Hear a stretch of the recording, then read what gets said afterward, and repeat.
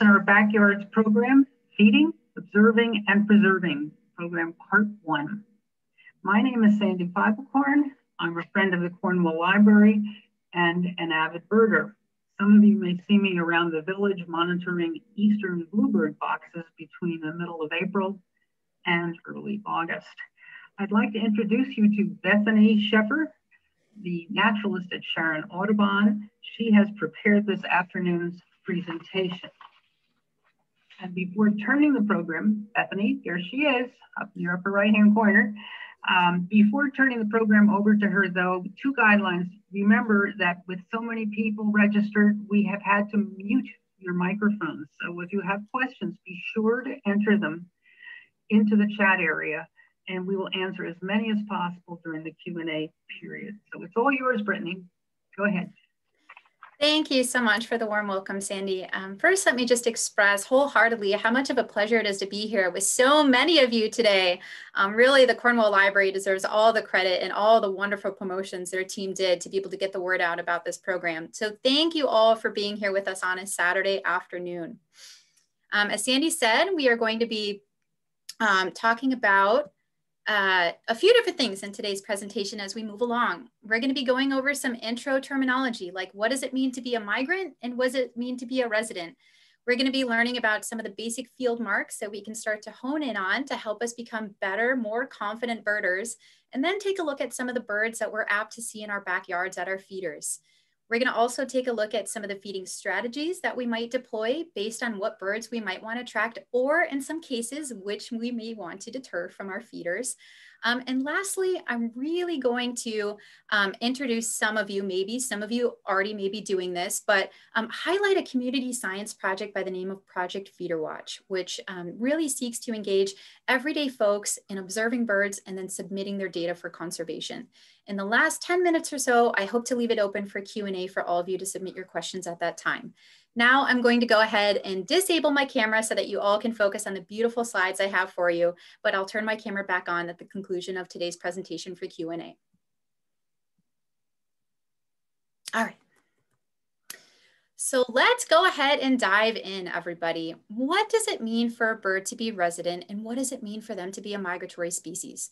Well, when we look at the bird on the right-hand side of the slide, our black-capped chickadee, that bird is a resident here in the state of Connecticut, meaning that we are able to see this species throughout the entirety of the year, regardless of the season, right? It doesn't matter if it's spring, fall, winter, or summer, we are seeing the black-capped chickadee here in Northwestern Connecticut.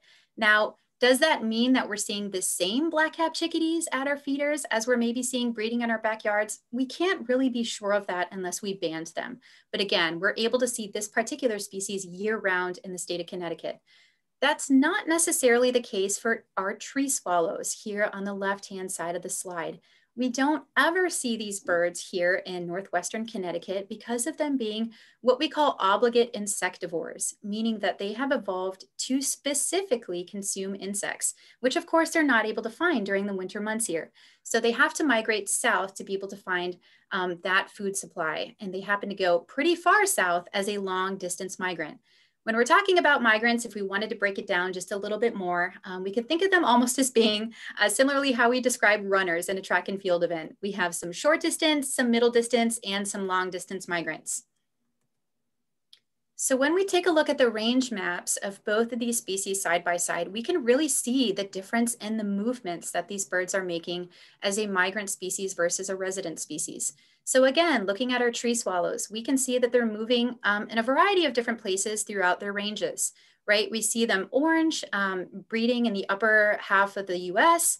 We can see them moving through the middle part of the country and then eventually winding up in the tropics of Central America, again, where those abundant insect populations are right? Unlike the black cap chickadee, we see just one color there, right? We see just our purple that's present on our range map telling us that they're not just a resident in the state of Connecticut, but they're in fact a resident throughout the entirety of their range in the US and in Canada. So then it bears the question, well, can birds be both migrants and residents? And the answer, hopefully not to confuse you terribly, is yes. And the American robin is a really great example of that very phenomenon. It just all depends on where the bird is located within its range. So as we do have American robins that are breeding up in the northern parts of Canada, um, they do make migrations where they end up in states like Connecticut to spend the winter months, right? But that's not always the case. We do consider the American robin to be a resident species here in Northwestern Connecticut because again, like our black-capped chickadee, we see them um, here throughout the year, regardless of what season it is. And they do have a couple of tricks up their sleeve to be able to survive the cold temperatures if they are indeed a resident. Um, so first and foremost, these birds are highly adaptable and are able to in fact switch up their diets depending on the season.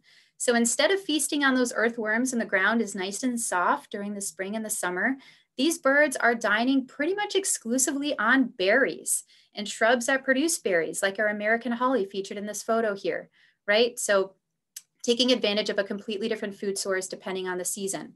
Um, in addition, in the winter months, these birds are oftentimes growing an additional layer of those downy feathers, right? The, the downy feathers sit right against the bird's skin and are those feathers that help to trap air against the bird's body to keep them warm, right? And last but not least, these birds, you're oftentimes seeing them um, form into these really large, robust winter flocks involving hundreds, if sometimes not thousands of birds in these flocks.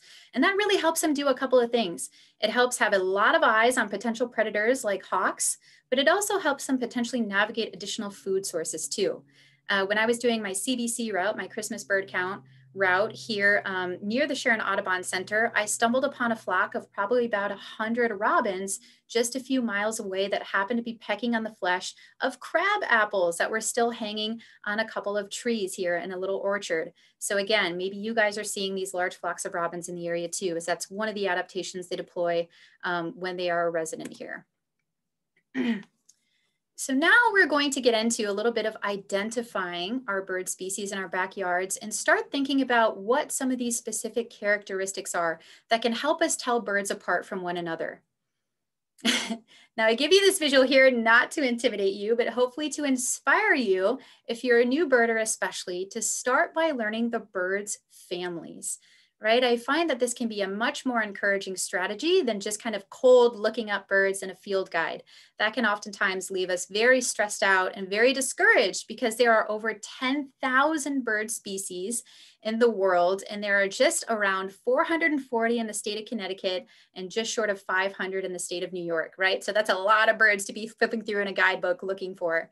Um, so when again, when we start at the family level and we begin becoming familiar with family groups like owls or wading birds or ducks, um, birds like that, we can then have a more productive launching point than to start identifying the bird we saw in our backyard. Um, so this visual that I have in my slide is actually um, a real poster that you can buy on the internet should you wish it to grace the walls in your home. it can make a really beautiful um, statement piece, but it also, again, is a very valuable learning tool and help us, helping us to become more familiar with those bird families. Again, especially for a new uh, birder and we're looking for a starting point to start learning our bird species. So then once we become a little bit more comfortable with these different families of birds, we might start to learn which field marks we should start paying attention to when we're identifying our birds, right? So these six that I have on the screen are six really valuable field marks that tell us a lot, not only about what the bird looks like, but what birds are doing in their natural environments. So when we look at the first one, the plumage, which is just a fancy way of saying the feathers on a bird, right? Birds are oftentimes really colorful, but not just are they colorful, they're often really colorful in distinctive ways. So when we look at distinctive colorations or markings on our birds, um, that can really help us pull apart species that oftentimes look really similar and are oftentimes in the same family. So looking at our cedar waxwing here in my slide, it has a beautiful black mask on the face that's distinct. It has a really lovely warm palette of colors across most of its body. And it has this orange or yellow tail tip at the end, in addition, of course, to the namesake wax-like looking red droplets of color on its secondary feathers on the wings right? In addition to color, we might also hone in on to special groups of feathers too. So on this bird's head, we have a crest, which is not inherent to every bird species, right? So this could be, again, another special grouping of feathers that we might pay attention to when we're looking at this bird. when we're looking at the size of a bird and we're describing it to somebody, we're not talking about dimensions. We're not giving inches or feet or anything like that, of course. We're comparing those bird sizes to something that's familiar to us. So oftentimes that can be another bird that we know out in the world, right? That could be a crow, that could be a jay, a robin, a chickadee, anything like that that helps give somebody else a relative idea of the size. Um, but that could also be um, an inanimate object too. There's no shame in that whatsoever. If you are trying to tell somebody about a bird or trying to remember it yourself and you're thinking, okay, this looks like a softball size, basketball size, maybe you're looking at a wren and you're trying to tell somebody, hey, I think this is about ping pong ball size. There's no shame in that. And actually, I deploy this tactic a lot when people are calling our Audubon Center and trying to tell us about injured or orphaned birds that they find because we do have a wildlife rehabilitation clinic at our Audubon Center, we get a ton of calls in the summer, particularly about fledglings that people are confused about, right? They're wondering why these birds are on the ground and what they can do to help them. So if they give me a size of a bird and they don't know the species and say, hey, I think this is maybe about blue jay size, I know to prep a carrier about that size instead of prepping something for like a red-tailed hawk, for example. So that can be really helpful for me on the phone. When we're talking about the structure of our birds, we're really just talking about the general shape of the bird. Are, is it long and slender? Is it kind of squat and compact? Does it have short rounded wings or kind of long tapered ones? You know, does it have a robust bill or a little tiny one? Body markings like that that essentially give us an idea of what the shape of the animal is. And of course, behavior can be really telling as to what a species of bird is or even the general family of birds right? If we look at the behavior of a cedar waxwing, going back to the species, for example, uh, we know that in the wintertime, these birds are seen in small flocks, right? Oftentimes associated with places that have good cover. I watched them hover above a bird feeder on my Christmas bird count, for example, and they would not leave this part of the oak tree that still had a cluster of leaves that were clinging to it. They really wanted to be underneath that good cover in the wintertime right? So behavior might, might be something as simple as flocking up in the wintertime, like the species of bird, or it could involve courtship behaviors, which are very, very diverse, of course, around the world when it comes to birds um, and other such behaviors. Where our birds are living is often a really key indicator in telling us either what it is or what it isn't. Some bird species are very widely adapted to being able to occupy deserts and forests and wetlands and all sorts of other environments, while other bird species are very limited in the habitats that they can occupy, right? So knowing the habitat where a bird is residing can often be important in, in telling us more about that particular bird. And last, and of course, but not least, is the song, right? Song can sometimes be the only field mark that we really need to rely on when telling us what a bird is out in the wild. And field researchers use this tactic often when they are surveying, especially in the spring and summer months for birds, they will only be listening for the song as a clue to what the bird species is. And that's all they have to know because that song um, is very distinctive between species. All right, so now I'm gonna allow you guys to practice this a little bit and utilizing these field marks to give us a better understanding of the bird in front of us. The bird in front of us is probably a very familiar feeder resident for most of you here in Northwestern Connecticut and in other parts of the state and country because this bird's range is pretty wide. Um, but let's take a look at some of these. So the plumage, right? Pretty straightforward on this bird, really consistently red throughout and the male is blaring are bearing, excuse me, this really distinctive black face mask, in addition to the that crest on the top of the head, that special grouping of feathers. But now I'm gonna ask you guys, I want you to tell me in the chat box how you would describe the size of this bird, either comparing it to a similarly sized bird or your favorite inanimate object that you think it most closely resembles. And let's see what you guys come up with.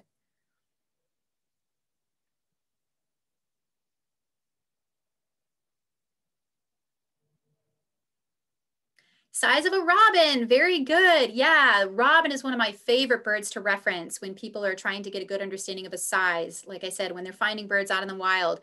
Tennis ball, good. Blue jay size, yeah, very good. Thrush, good. If we're going out a little bit more general. Yeah, good. So getting some blue jays, getting some robins, those are really good sizes to be able to compare this bird to. Um, the structure, if we're looking at the structure of this bird, we might notice again that it has this crest on top of its head, in addition to a nice long tail. paired up with this pretty round little body, right? But what about the behavior? Now I want you guys to tell me about a behavior that you see the northern cardinal exercising, um, either in winter or in other parts of the year. What's something striking to you about this particular field mark with a cardinal? Shy, yeah, very good. Thanks, Lloyd, for that. Yeah, you tend to associate these birds with um, with cover, right? With thickets or with brushy stuff on the outer edge of a forest. Ground feeder, very good. Those of you guys who are feeding your birds right now, you notice that they are feeding on the ground predominantly. That doesn't mean that they won't feed on another type of feeder, which we'll talk about a little bit later on, but they do really like to feed on the ground. Yeah, very good. Good, good, good. Tends to feed early or late in the day. I liked that one. I didn't get to see who submitted it, but yes, they are oftentimes early feeders and they are just as just as often late to leave the feeding scene at the end of the day. Very good. So habitat, you guys kind of told me a little bit about this already, but these guys tend to be associated with cover. That could be native or non-native. They may be hiding out in a privet hedge, which is non-native, or they might be hiding out in some native thickets that you guys have, or clusters of vines like poison ivy that they're hiding out behind, right? We tend to associate these birds with cover, um, but we know that these birds can inhabit all sorts of environments from urban to suburban um, to more wild habitats like we have in, in Northwestern Connecticut here. And last but not least, the song and the call. So both of those are pretty distinctive with the cardinal. And now they're going to be issuing their call. So if you do have a pair at your feeder, you might often hear them issuing these little chips between the pair to let one another know where they are. All right, very good, you guys. Thank you for all that input. So if we zoom in just one more level on our plumage, we can look at some basic feather groups to give us a better understanding of where to look on a bird's body when we're trying to pick out some of these physical field marks, again, related to feathers, right? So don't worry, I'm not gonna have you guys memorize all these and give you a quiz at the end of the presentation, so don't worry about that. But the ones that I have circled here are, again, um, the spots on the bird's body where we tend to see our more distinctive field markings at the top of the head, on the crown, on the breast and the belly, right? When we think of our American robin, one of the first birds that many of us learn, we know that it has that really bright red orange breast and belly, right? The tail and the undertail coverts, you may not think so, but there are oftentimes distinctive markings that are displayed in both those parts. Sometimes that undertail covert is just an entire bright color, brighter than the rest of its body that gives that species away. Um, and other times we might find more distinctive markings on the nape or the back of the neck as well. So again, just a few spots that we might pay extra special attention to. Because remember, when we're, I'm sure we can all relate to this, when we've been out in the wild, we're looking at birds, they don't often award us very long glances, right? They've got things to do and they're a prey animal, many of them. So they're trying to hide a lot of the time and not be super conspicuous. So if we only get fleeting glances of these birds and we try to focus our attention on some of these circled areas regarding their feathers, um, we might have a better opportunity of making a more confident identification afterwards. All righty, so let's get into a couple of our species that we might be seeing in our feeders now. Da -da -da -da. Notice that I don't have the names displayed yet. We're gonna hone in on a couple of these feather groups and go through and compare and contrast. And then I want you guys just in a second to tell me what these species are. Both of them are a member of the sparrow family, right? So we're just gonna say that for the time being.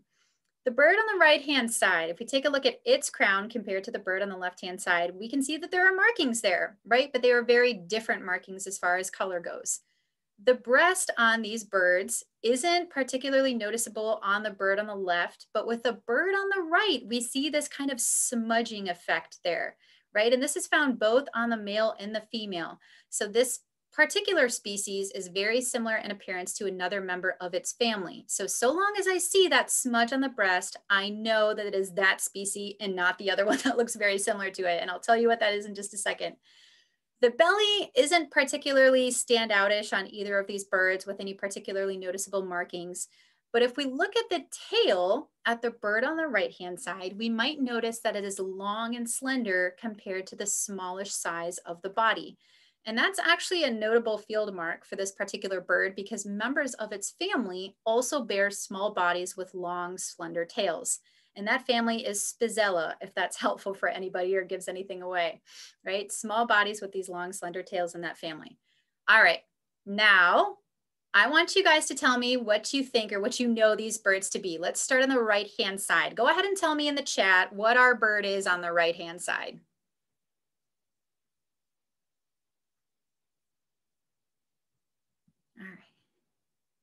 Yeah, very good. Yeah, great. We've got some good answers coming in and some really good guesses too. So yeah, quite a few of you are saying really good guesses, folks. Yes, and somebody said the one that looks really similar to this one. So I'm excited to cover that. This is our American tree sparrow, and it does look very similar to the chipping sparrow, which again, I'm glad somebody put. Those are two members of the same family, Spizella, those small bodies and long slender tails. But the chipping sparrow, for one, does not have that smudged breast like the American tree sparrow does. And our chipping sparrows are actually migratory. So they're hanging out right now in the balmy temps of the southeastern United States spending the winter. Right? Our American tree sparrows, contrarily, are also a migratory species, but they are breeding way up on the edge of the tundra in northern Canada and Alaska. So it's a, really a treat for us to be able to get them um, so far south here during the wintertime. The bird on the left-hand side, go ahead and tell me what you know this bird to be. Yeah, we have a field mark that gives this bird away for those who know it. This is our white-throated sparrow, right? My arrow is giving us a little hint there to focus in on that white throat, which is present in both the male and female of the species, in addition to that multicolored crown. So our white-throated sparrow, similarly, um, comes down to us from Canada in pretty significant numbers and hangs out with us here during the wintertime.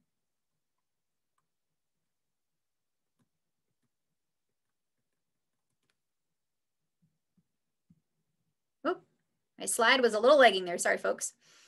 All right, moving on. We're still going to stick with the sparrow family here. This is one of my personal favorites and one of the more adorable members of this family, in my humble opinion.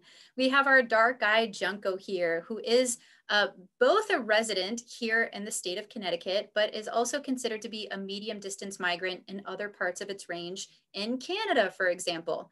Um, so as a resident bird in Connecticut, we have this bird breeding at higher altitudes during the spring and the summer months. So we're really only apt to find them in places like Great Mountain Forest or in the hills of Kent, for example. Um, breeding populations have been found in both of those areas. Um, but again, we tend to get these birds in pretty large numbers because of the birds that are migrating down to us from Canada. What I love about this sparrow here is that there really isn't anything else that looks very similar to it, right? We have our tufted titmouse that kind of sort of looks like it, but our dark-eyed, our dark-eyed junco is lacking that crest on top of the head, and the colors are more dichotomous too. It's kind of split in half with that gray on the top half of its body and this nice crisp white on the underbelly extending all the way to the tail. And what I love about this bird too is even if I don't get a good look at it at a feeder, if I see it flying away from me and I know to focus in on these outer tail feathers, I know that it's a dark-eyed junco that I'm looking at because no other bird has these outer rectrices or tail feathers, both on the top and on the bottom that I can look at, right, when I deing this bird flying away from the feeder. This bird often does, just like other sparrow species, does tolerate a variety of species at the feeder. And so you oftentimes seeing them associate with other sparrow species like the American tree sparrow and the white-throated sparrow, in addition to other ground feeding birds at bird feeders. No other bird, really, in my opinion, goes through such a drastic transformation in plumage at our bird feeders than does the American goldfinch. We can see this very studly male on the right-hand side and really lustrous, beautiful breeding plumage with a nice black cap at the top of the head, um, but looking rather drab, still quite lovely, but very drab in comparison here in the left-hand photo. Um, two features that I really like to focus in on when talking about plumage and identifying this bird at a feeder, because as we'll see in a couple of slides um, here in a minute, it does look really similar to another bird that might visit our feeders this winter. But if we look at again at the American goldfinch, we can see that it has these black, black wings with these really bold, thick white wing bars. So that's one um, field mark that we can hone in relative to the feathers that might help us more confidently identify this bird. In addition, to the consistent dull yellow wash that's present along the underside of the bird. My arrow is there to indicate that there isn't any streaking on the side of the bird, like we're gonna see on another member of this family that does bear a lot of streaking on the side of its body, right? All right, now we're really getting into the good stuff. So these two birds are found at our feeders here in Northwestern Connecticut in fair abundance, and they look virtually identical, right? But there are a couple of field marks that I'm gonna teach you guys to hone in on so that you can more confidently tell these birds apart if you are oftentimes confused, like I was for a long time, about differentiating between these bird species. So if we first take a look at the female purple finch, for example, we can see mm-hmm. my arrow is pointing to this white eyebrow or supercilium, if we want to be really technical, that's very bold and visible, right? And not at all present on the female house finch. Instead, on that bird species, we just see a lot of the streaking that we see throughout the rest of the body, right? So again, really honing in on this thick, visible eyebrow for the purple finch female. Once you see that, you can feel very confident that it's a purple finch and not a house finch. Um, size isn't super reliable in telling these two species apart because the purple finch is only slightly larger by about less than an inch. So again, looking at that eyebrow in the female. And for the male, we can see that both males of these species have some red on the bodies, right? But our, our male purple finch is completely dipped in this rosy red coloration from the tip of its bill or the base of its bill rather all the way to the tip of its tail right whereas we look at the male house finch and we see this red only as accents here on the crown and on the breast a little bit on the belly and on a little patch on its rump on the back right so it may take some practice for you seeing these birds side by side to be able to tell which is which but again the male of the purple finch is going to display that rosy color much more consistently throughout the body all right. Oh my goodness. So 2020 brought us a lot of stress, um, a lot of heartache. Just 2020 was a very, very busy year for many of us. Um, but one good thing that did come out of 2020 was an eruptive finch year, which was absolutely fantastic. So, what does it mean when we're talking about an eruption? What that means essentially um, has to do with um, with the mast cycles that trees are involved in in the boreal forest where these birds are breeding, right? So trees develop this evolutionary strategy, we think, to avoid squirrels eating so many of their nuts that new trees don't grow up, is that they produce these mast or these nuts on cycles, right? So it's not every year they're pumping out lots of acorns. One year might be a shortage, another year might be a good mast year. So on lower producing mast years, these finches are flying south into places like New England and in northwestern Connecticut to take advantage of other more reliable food sources. And 2020 wasn't just a good eruption year. It was what scientists are referring to as a um, as a super year for these eruptive species, right? Because we had evening grosbeaks here on the left-hand side. We had pine siskins and we had common redpolls coming to our feeders. Unfortunately, I only saw about five pine siskins. I didn't see any red redpolls or any evening grosbeaks, and I felt like everybody else was seeing them. So hopefully you guys got to see some. So if you did see some, go ahead and let us know in the chat if you were able to see any of these eruptive winter finches right? Because it's not every year that they're coming down. It really depends just on the crop cycles or on the mast cycles rather up in the boreal forest where they breed. Um, one thing you guys can tune into if you're really interested in tracking winter finch populations is something called the Winter Finch Forecast, um, which is run by a scientist by the name of Tyler Hoar um, and uses these mast production years to predict the movements of these finches throughout the year. Um, so again, if that's something you're interested in, um, you might again tune into Winter Finch Forecast. Last but not least, before I forget, I have my little blue arrow here to remind me um, this pine siskin looks really similar to our American goldfinch in size and in general coloration, but notice the streaking on the side of the body. When you see a lot of streaks like that and a similar sized and color bird to our American goldfinch, that's more likely to be our pine siskin. And in addition, siskins really like to operate in flocks. 10, 20, 30, 40, 50 or more birds in a flock, typically at a feeder. So that could be something you also look for in addition to those streaks on the body. All right, so moving in now, kind of moving away from our songbirds and moving into some woodpecker identification. Uh, so again, I don't have the names up here for you guys because I'm gonna see how much you know about telling apart, again, two very similar looking woodpecker species. And you're apt to see both of these woodpecker species at your feeder this winter. Um, the one on the left, you can see where my arrow is pointing, tends to have a much thicker cluster of a grouping of feathers known as rictal bristles. Um, we know that rictal bristles can serve all sorts of functions. At least we hypothesize that they serve certain functions in certain groups of birds, like in um, uh, aerial insectivores, like um, uh, like uh, flycatchers, for example. Um, they help keep debris out of the bird's eyes, we think, when they're sailing. Um, with snowy owls, they help the mother bird to be able to detect the mouths of the, of the nestlings that she's feeding. And so for woodpeckers, we suspect that they help keep debris and flying wood chips out of the bird's face as they're hammering into the wood, right? So we see this cluster much more prevalent in my bird on the left than on the bird on the right, right? So that might be a field mark that you guys tune into if you're looking at this woodpecker and are saying, ah, I don't really know which one this is, because again, they look very similar. If we look over at my bird on the right-hand side, we can see that the bill is just larger in general and more robust, right? Not only that, but it really just has only this tiny little tuft of the rictal bristles, nothing compared to the little kind of shredded cotton ball amount that my bird on the left-hand side does. Size does play um, a factor in telling these two birds apart as the one on the right is considerably larger than the one on the left, However, you really don't get to experience this until you see them out in the wild enough and feel confident in knowing the size difference, right? So I like to talk about these other field marks in addition when telling these two species apart. Okay, so now it's your time to shine, folks. Which species is my bird on the left-hand side? What do you think? Is it a downy or a hairy woodpecker? Oh, you guys are on fire. All right. I think you guys already knew all this. Excellent. Very good. Yes. So Downy is on the left. Very good. And somebody even indicated that we know it's a male because of this red marking here on the back of the head.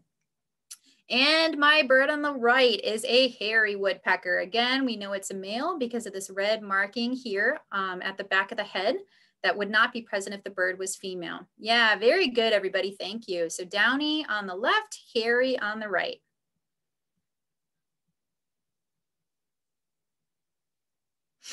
All right, really quickly, two other species that you might see at your feeder. The red-bellied is one you are apt to see much more frequently at your feeder than the yellow-bellied sapsucker.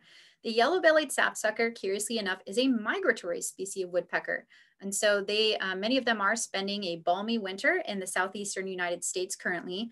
Um, but we tend to actually see that females are more likely than males to migrate all the way to Central America. I don't think we know exactly why that is currently, but we tend to find ratios of three to one female to male in the Central American wintering grounds for this particular species. So I'm not ruling it out entirely as we do see a yellow-bellied sapsucker here on the feeder, but I have seen a few this winter and know that they will occasionally come to feeders. So you might look out for that one.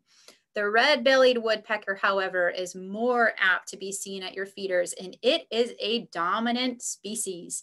If you have a red-bellied woodpecker at your feeder, you have probably seen their boss attitude on full display with them kind of bustling out of the birds that are on the feeder and really not moving away when other birds are there. I think the only thing that might scare them away is multiple crows landing or multiple blue jays, excuse me, landing on the feeder at the same time. Um, again, they tend to be a pretty dominant species and will take not just peanuts and peanut hearts, um, but it'll even take black oil sunflower seeds if it's out for them and no other options are available. Um, just a note, these guys, um, we didn't tend to see them as frequently about 20 years ago. Um, so this is an example of a bird whose range is expanding and we're seeing them more and more here in Northwestern Connecticut. So again, you're, you're quite likely to see them in your backyards and at your feeder. So now we're talking about bird ID, we're getting more familiar with species in our backyard. So let's talk about how to supplement them during the winter months. We get all kinds of questions here at the Audubon Center about feeding birds. And so I want to address just a couple of them before I move on to which seeds can really bring in certain species of birds. Uh, the first question we get here is, am I doing the birds harm by feeding them in the winter? And I would say that, no. Do we need to feed birds here in the Northwest corner of Connecticut for them to be able to survive the winter? Would also be a no, but it can again help supplement them.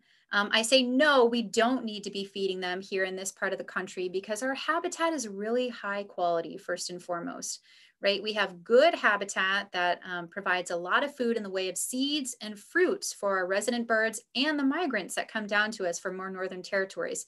So they have an ample food supply to take advantage of. Our birds, second, are also equipped with a variety of adaptations like we talked about a little bit early in the presentation, um, which do in addition help them to survive these cold, long winter days and nights right? If I were to be talking about, though, a more suburban or urban environment that maybe had fragmented habitat or more degraded habitat, I would place a higher importance on feeding birds during the winter because they probably, they might not have as, have as um, equal access to really good habitat with ample food supply. Alrighty, so when talking about certain kinds of bird seed, um, oftentimes people are asking, you know, what is the seed I can offer that attracts the greatest diversity of birds? And for me, that's the black oil sunflower seed. This seed is really high in energy, first and foremost, right? Giving birds a lot of important calories for them to be able to keep shivering and keeping themselves warm during the nighttime. Um, but in addition, they have a really thin hull. And so they're really easy to crack open for a variety of different bird bill shapes and sizes. So your, you know, your northern cardinal with a really big, robust bill can crack these babies open, but so can your black-capped chickadees, right? So can your really small songbirds. Um, so again, they facilitate a wide variety of different bill shapes and sizes. If you don't feel like offering your birds some additional enrichment by making them forcibly crack open the seeds, you can make it really easy and fun for them and just feed them the whole sunflower kernels with no shell surrounding them. Again, making that pretty widely available and pretty easy for them to take advantage of. Um, just be prepared to pay a little bit more for that um, because of the process of removing that hull. Safflower seed is um, not so much fun to talk about in terms of what birds it attracts, but more so about what birds it deters from feeding at your feeder. So for example, if you don't want blackbirds, European starlings, or grackles bothering your other feeder birds at your feeders because they do tend to be bullies and they can drain a feeder in a matter of hours, you might consider mixing in some safflower seeds or only offering safflower exclusively at your feeder. Why? Well, Safflower tends to taste bitter to blackbirds, we found, but it also has this irregular shape too, which is really difficult for those birds to crack open, if not impossible for birds like European starlings, right? So we'll talk about a couple of other strategies if they come up in the Q&A about deterring those birds, but offering safflower can be one of them, right, to keep those birds out. Other things you might consider adding or buying a mix that it contains are peanuts and peanut hearts, which are really rich in fat and protein for birds um, dried fruits like raisins or cranberries, cherries, um, and a variety of other seeds too, like pumpkin seeds and white millet. Millet is really a favorite of sparrow species. And so if you feed exclusively millet on the ground or you include it in a mix and put it in the ground for sparrows, they will really love that. All right, so oftentimes too, people ask us about um, thistle and Niger seed. So um, our, our finches, like our American goldfinch, are feeding on thistle during, during the summer months when it's available. But during the winter, um, what we're actually getting is Niger, and that's being sold in bird stores as a sort of thistle substitute. It's really similar, but it in fact is imported all the way from Ethiopia, um, from a specific, from the Niger plant, actually. Um, and so a little bit different than thistle, but it still is really, really beloved by these small finch species like the American goldfinch, like pine siskins and redpolls too will really like it. You can offer them in very specific feeders that cater to thistle or, or excuse me, to Niger seed. Because this seed is so tiny, you have to have special feeder ports that are able to hold it so that it's just not constantly falling out. So you might inquire at the place where you buy your bird feeder accoutrements and, and feeder supplies and such about specific Niger seed feeders for these smaller finch species.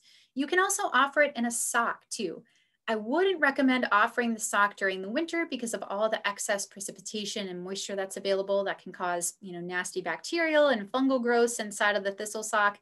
Um, but this is something that can be really fun to feed your finches with in the summer months just so long as you're making sure to check on it every couple of days and bring it inside the house when um, rain is pending. All right, so suet can also be something that we offer our birds, and it's not just for woodpeckers. I have woodpeckers here feasting on suet and peanut butter um, in my photos, but all kinds of birds love to munch on suet, as I'm sure you guys have noticed who feed birds, right? Black-capped chickadees, tufted titmice, white-breasted nuthatches, those guys will all dine on suet if it is readily available. Um, and if you guys are curious, I'd be happy to answer questions about how you can deter species like European starlings from getting into the suet and depleting it too. Uh, I'll just save that to the end if anybody brings it up in Q&A. The only other thing I'll mention about suet is, um, which is made from beef kidney fat, in case anybody was wondering and was wanting to make their own. Um, when people do purchase it from the store, just like seed, we really encourage people to spend the few extra dollars to buy high quality bird seed from vendors like Wild Birds Unlimited, from your local Audubon store, um, or from other local places like the Fat Robin, which I've been made aware of in Hamden, Connecticut right? So spending the a little bit of extra money to get high quality seed because in some really basic mixes at places like grocery stores, oftentimes there can be additional dyes and um, other additional preservatives and things like that that are put into the mixes that may not be so great for our birds. Uh, with dyes, I see that often in suet cakes in grocery stores and things. Sometimes they'll dye the seeds really visible colors like blues and pinks. Um, and to be honest, we don't really know what kind of effect that has on birds yet. The research just isn't there yet. Um, but to be on the safe side, we always recommend that people, again, um, buy those without any artificial dyes and from their local Audubon store, Wild Birds Unlimited, or another trusted bird seed supplier. Yeah, so let's talk about some feeders here for a little bit. Um, there are all sorts of feeder types and models out there. Um, so let's take a look at just a few of them here we have our tube feeder on the far left-hand side. And this feeder is great because it can facilitate a wide variety of your little guys, right? You can have your black-capped chickadees there, you can have your house finches and your titmice and all of your small songbird species there. And you have this nice tube with a protective cover that keeps that seed nice and dry for at least a couple of days, right? Kind of depends on what your feather traffic is like. If you have a lot of birds coming in and munching on seeds, um, but if you don't, you can kind of gauge that and then you can refill it accordingly. But again, the real benefit there is that the seed stays dry and you can accommodate a lot of small guys at the same time. If you're wanting to still keep your seed dry and have a roof over the top, but accommodate some larger birds at the feeder, the hopper feeder is the option for you as you can feed your small guys there, but it's spacious enough to allow your larger feeder players there, like your mourning doves, your jays, um, and your larger finch species, right? Like your, um, your grosbeaks and such. So the hopper feeder, again, facilitates your larger birds being able to get up there and feed. Um, the option for accommodating the most amount of different birds at the same time is your tray or your platform feeder up there in the right hand corner. However, uh, you can't quite see it because the picture is kind of cut off, but this oftentimes does not have a roof. And if you do want to put a roof or a cover over the top, you have to install that separately. So the real risk with having your platform feeder is that um, you don't have great drainage and you have the potential for excess moisture to build up in there and create some nasty kind of fungal stuff and bacterial stuff that's going on in there right? So um, that's just something to be aware of. You just have to really stay on top of the maintenance if you do have a tray or a platform feeder. They can be a delight, on the other hand, to see lots of different kinds of birds feeding at the same time. Again, so long as we stay up on the maintenance. Now, last but not least, our window feeder might seem really counterintuitive, right? You're thinking, why in the world would I attract birds to my glass when about 100 million birds die every year from glass collisions? Yes, you heard that right, 100 million it's a big issue that we're really trying to work out and trying to prevent. However, here is the rule when it comes to bird feeders near windows. You either want to place it within three feet of your window, like you see our window feeder here right up against the glass of the window, or you want it more than 30 feet away of the window. And here's why. When our birds get startled and they're flying off the feeder, when they're, let's say, within only a couple of feet of a feeder, they really don't have time or distance enough to build up enough momentum to really cause long lasting head trauma if they collide into a glass pane, right? But if we put that feeder 10 feet away, that bird has substantially more distance and time to build up momentum to really do some damage, if not cause death when it collides with a glass pane.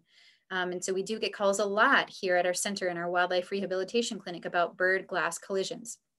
Um, so again, um, either putting it within three feet or more than 30 feet, because at 30 feet, when those birds get startled, they have a lot of other places to go. They're not going to be as tempted to collide right into that glass pane when they get scared, right?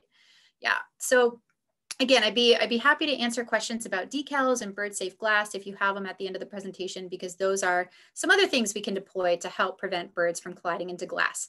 But if you do opt to go for a window feeder, you can see there's not a ton of space to accommodate lots of birds at the feeder, but it can award you some really beautiful, charming up close views of the birds that are there.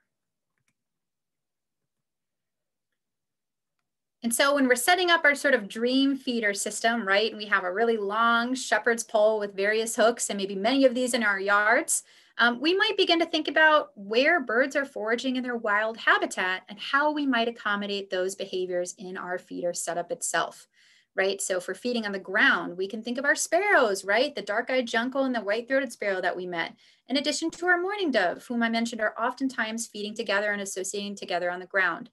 However, we might put some sort of feeder apparatus at the middle of our pole to accommodate these mid-level shrub foragers like our northern cardinal or our finch species, right? Many of you notice that cardinals are feeding on the ground and they do oftentimes, but they also will take advantage of these mid-level feeder apparatuses. Finally, we might think about accommodating these other birds that tend to forage higher up in the canopy in their wild environments right? Either some tube feeders or a suet feeder or other things that are up at the top for them. So again, just taking into consideration their wild behaviors. All right, so we get a lot of questions too about bears and feeders. So let's talk about that here for a minute. This bear is sitting fat and pretty happy right there, really not having to do pretty much any work at all to get the seed from this particular feeder. This was actually taken from Miles Wildlife Sanctuary, one of the properties that we manage um, just recently. So, well, not too terribly recently, but within the past couple years. So kind of funny.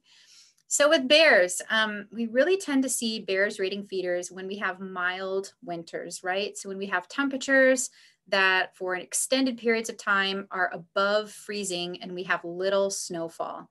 Um, with those temperatures not dipping below freezing for prolonged periods of time, that's really not encouraging bears to go in um, to this resting state during the wintertime, right? They're not as encouraged to remain in their dens. Um, and then with limited snow cover, those bears are able to find food fairly well. Again, if the temperature remains above freezing for prolonged periods of time, right? They don't have to dig too deep in the snow and it's not as challenging for them to navigate um, really deep snow as they're moving about their environments. Um, so those two things we see where bears are pretty active. So in the past couple of winters, they've been relatively mild for this region. Um, so I've been telling people um, usually to go ahead and bring their feeders in um, in evening time and then bring them out uh, around like late morning the next day. Um, since bears are crepuscular, active predominantly um, during the dawn and during the dusk, um, they're not as apt to be raiding your bird feeder during the middle after uh, the middle of the afternoon. It's not completely impossible, but it's not as likely as them patrolling, you know, early in the morning or late in the afternoon. We've all experienced those pesky squirrels getting into our feeders without a doubt. And so I am here to give you some alternatives to help deter those squirrels from getting in your feeders. If you are like me and you are feeding the birds, you are only feeding the birds and you are not also feeding the squirrels. If you do feed the squirrels, that's completely fine. That is entirely up to you, of course. But I think that many of us, when we're feeding the birds, we are focusing on feeding the birds and nothing else. So first and foremost, we can think about installing a squirrel baffle and they come in all sorts of shapes and sizes and designs nowadays again to really help prevent our birds or our birds excuse me our squirrels from climbing up the pole and getting into our feeders right? So we can see one design here that's a predator guard that really just prevents the squirrel from climbing higher. And here i really like this model where it prevents the squirrel from being able to grasp on to that baffle and lift itself up and then continue climbing the pole, right? So both these have been proven to be very effective. This, you might put a guard on the top of your feeder to prevent squirrels from climbing down on a nearby tree. But in addition, if you do have a lot of trees in your yard and you're placing your feeder next to a tree, which we do recommend to an extent because it is a, a, best practice to place your feeder near cover where your birds have access to somewhere to go in case a predator is in the area and they need somewhere to hide you might want to consider installing your feeder at least 10 feet away from nearby trees or shrubs to prevent those squirrels from jumping, right? If you guys have not placed them about 10 feet away, you have seen these squirrels jump, I'm sure. They can really leap. So again, placing them at least 10 feet away from nearby trees or shrubs, and then maybe additionally considering placing these types of guards on the feeder to keep them off. An additional deterrent might be just a cage that you place around some of these tube feeders. And all of these things you guys can find at your trusted bird store. Uh, we do have several of these models in addition to all sorts of feeder um, supplies and seed at our Audubon store too, should you have any questions. So feel free to give me a call at any point after this, um, should you need some more info on any of this, uh, any of this material. All right, here is the real ticket, you guys. If you have had chronic squirrel issues for years and years and have just been pulling your hair out about what to do about it, Squirrel Buster is here to save the day. This feeder type is made by a company called Brome, and it is quite ingenious. Here is how it works. A squirrel will try to come down into the feeder, and when it does, it'll get onto this perching platform where these birds are seated. But because of the squirrel's weight, what it does is it pushes this platform down. And as that pushes down, a bar raises up inside of these feeder ports and just prevents a blockage from those. So squirrels cannot get to that seed inside. They can't reach their little paws in and grab any seed to eat. So yeah, it's pretty ingenious. And you can see that there are a couple of different models that can be deployed here, again, as a really ingenious way to keep squirrels out of those feeders. Just do be prepared to spend a little bit more though on these feeders than you might otherwise would. Um, they run anywhere from 35 to just over 50 bucks for these. So again, it's an investment, but if you have been having chronic squirrel problems and nothing else has worked, this might be something that you guys try. Alrighty, so in addition to squirrels, we might not like to see squirrels in our yards taking advantage of our birdseed. And similarly, we might also not like to see hawks in our yard taking advantage of our feeder birds. But folks, um, I hate to tell you if you view hawks in a negative light, but these guys have to eat too at the end of the day. And curiously, FeederWatch actually told us from years and years of data that Cooper's hawks, like the bird we see in this photo, they are actually spending more and more time um, here in the winter in places like New England, as opposed to migrating south to Mexico like they normally would, because we think they have learned that there are large clusters of feeder birds present at feeders that they can take advantage of. Um, this hawk belongs to the group of hawks known as accipiters, and they are built for speed and agility. They are built to predate on birds that are zipping through the trees of the forest. So they have no problem um, crashing down on birds at feeders and taking advantage of that. So again, um, I hope that you don't see that in a negative light, but instead see that as a positive predator-prey interaction within a healthy, robust ecosystem. Alrighty, so really quick here, just a little bit about feeder maintenance because this is important, just like anything that we possess or anything that we utilize, we should be taking care of it, right? And maintaining it on a regular basis. Um, so it's especially important for us to take good care and clean our feeders on a bi-weekly basis at the very least with either bleach or vinegar because there are all sorts of bacterial and fungal stuff that can get into our bird seed as a, as a result of, um, of built up condensation and moisture um, that can really cause our birds some harm. And one of those we see um, really being spread through bird populations like house finches is avian conjunctivitis. Now, even though that is predominant, yeah. One quick thing. I just want you to watch the time because um, uh, if we have to end at a particular time, you may have a little bit more to go. We're at 455 now. Oh yeah, I see that. Thank you so much. I appreciate it. Yep. Yeah, so um, avian conjunctivitis predominantly affects our house finches, um, but we also see it in a few other finch species too, like goldfinches. So despite it being predominantly a respiratory infection affecting the lungs, we do see it manifest in symptoms of swollen and puffy eyes too, kind of liquid oozing from the eyes, um, lethargy, not being able to see well, things like that. Um, so if you do find a bird displaying symptoms of conjunctivitis, um, please do do your best to capture that bird and call a licensed wildlife rehabilitator. That could be our center at Sharon, or that could be you logging into the DEEP's website and looking at their wildlife rehabilitation page. Um, because what happens is if we leave these birds at the feeders, because they're uncomfortable and their eyes are bothering them, they tend to rub those infected eyes all over the bird seed at the feeders. And then that just spreads like wildfire to other house finches that are coming to feed at that seed, right? So again, if you find a bird with avian conjunctivitis at your feeder, um, please do us a favor and do your best to capture it. And we'll do our best to help you get it to us for treatment. It is treatable and it's not necessarily a death sentence for these birds. Okay, we're getting ready to transition over to Project FeederWatch, right? And so that'll be a quick little zip through that so we have um, enough time, at least five minutes for questions at the end. But I'd really just want to emphasize before making that transition that though we can do birds a favor by supplementing their natural diet with seed, where the real sustainability is when it comes to feeding our birds is planting native plants. I'm sure you guys have heard that buzzword, those buzzwords, native plants, a lot in the past few years, and for good reason. We know that biodiversity is declining across the world, and we know that our bird populations are also declining as a result of the quality of habitat. So by planting native plants for birds, um, you can really help them by providing plants for them that host lots of insects that they feed their babies during the summertime. But also, like you see here for our American robin, they can provide really important food sources during the wintertime, like berries, right, with American holly, or it can provide birds with really important critical cover for those cold winter nights and if a predator is nearby. So by logging onto Audubon's website and looking at their initiative, Plants for Birds, you can actually do as little as typing in your zip code to a database and that database will give you a really awesome comprehensive list of plants that are native to your region, right? If you live in Connecticut, they're not going to give you plants from California, right? That would make any sense, but they're going to give you plants from this region that you're going to be able to plant to help birds out. So do check that out if you haven't already become familiar with it. Okay, now here's where the kind of scary part comes in, folks. I'm going to transition over to Project FeederWatch's website, and I'm going to hope that this transition goes smoothly. Okay, so I'm going to stop my share here. All right, now I'm going to go over. I'm going to initiate my share again. All right.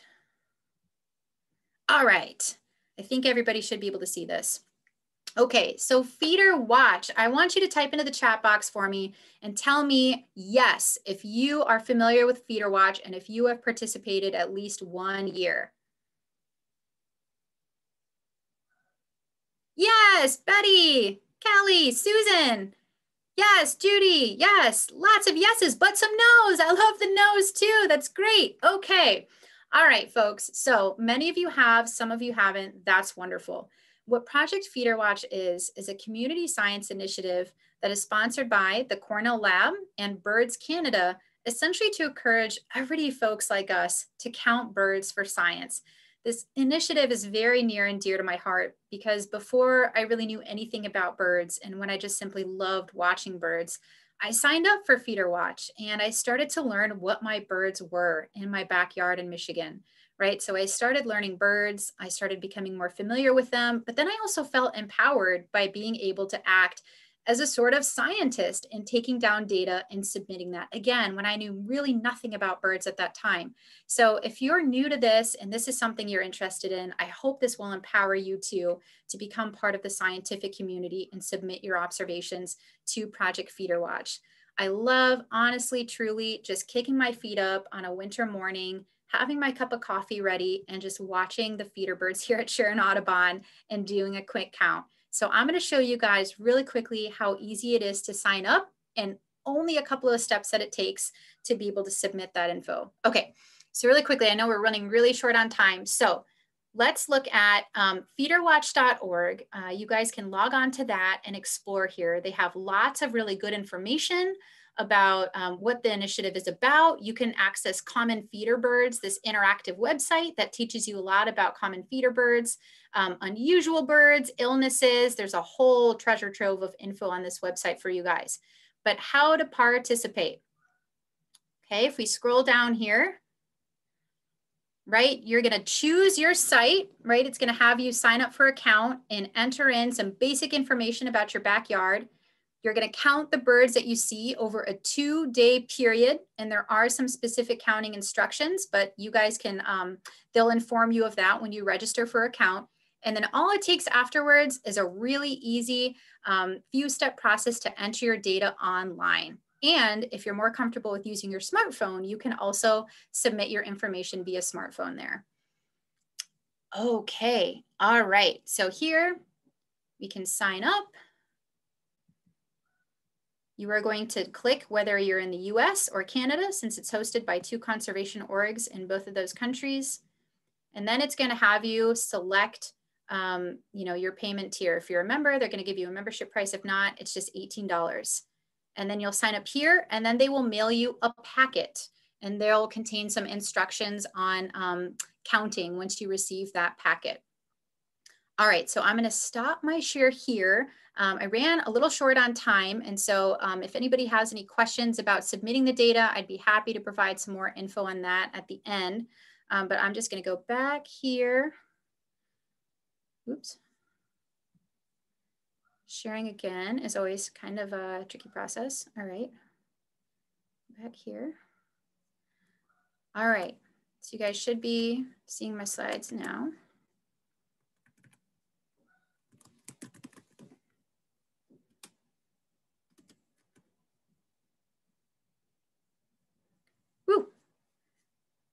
Okay, whoop. Sorry guys. All right, we're gonna go ahead from current slide. Okay, great. So now um, really, again, this is quick review of protocol but you're watching birds for two days in a row with feeder watch. You're entering your observations um, with the highest number of birds being recorded. And again, there's more specific info in the packet. Um, you have your entering of data either by the website or the feeder watch app. And your data matters because um, uh, I'm worried you guys can't see my screen, but your data really matters because it is essentially telling us where birds are and where they aren't by entering your FeederWatch data right? And that can tell us whether there's something up with the food supply, if there's some environmental factor that's affecting our birds, right, and causing them to divert from their usual wintering grounds, or if there's a prevalence of disease, right, going through the population and affecting them. So the more we know via the data we submit, the more informed our conservation efforts ultimately are. All right, everybody. Sorry I had to rush through the end of that. That is the conclusion of today's program. And so now I will open it up for any questions that anybody has here, if anybody's willing to stay on for a few minutes. Um, before you go to the questions, I have a, I was looking at them and many of the participants were answering them for each other. So Oh, that's wonderful. What a great model. Group. And, and because we are so short of time, I want to be careful that um, everyone knows that any of the questions that were not answered, we're going to try to follow up with you because you've identified yourself with your question and get back to you with an email response. But um, one thing that did come out was uh, someone offered that the um, the shells, the black sunflower shells that are less expensive, but be careful because the shells can get in the way of some plant growth when in, in, from year to year. So that might be one thing. And the safflower, uh, another po uh, positive about the safflower seeds is that the squirrels don't like it.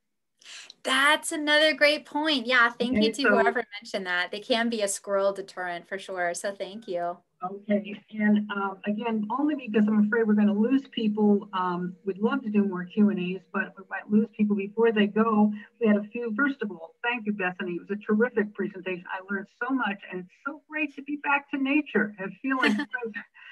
um, and thank you everyone for coming today. Um, we arranged for Sharon Audubon to join us with this presentation to help us though, to fund our fee to Sharon Audubon to support the library's programming going forward we hope you'll consider a contribution to the Cornwall Library. It's easy. There's a donate button on our website. Number two, um, we've recorded the program. And if you were listening so carefully and couldn't take notes, it'll be available in the next couple of days on the Cornwall Library's YouTube page, accessible on our website. So if you just look for the YouTube icon, you'll find it.